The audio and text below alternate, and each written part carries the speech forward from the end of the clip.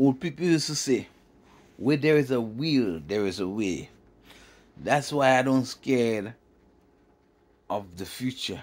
I don't scared for what gonna happen. These wicked people and them, the devil, these devils could do what they want to do. They could they could threaten us with what they want to threaten us.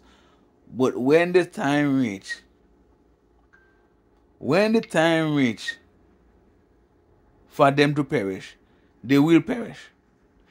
Because that I don't know how to describe it. That thing that we lost to existence, that we can see, that we call nature, that we call God, that we call the Creator, that thing, you know, that we can we can really describe it. This thing that give life,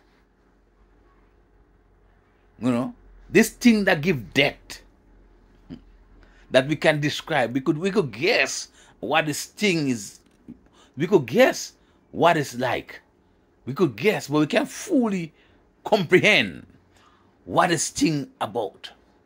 That's why I don't afraid of the devils. They could do what they want to do. They could they could threaten us with what they want to threaten us with.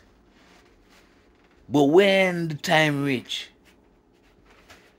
when the time reach, every bad thing on the face of the earth going to perish.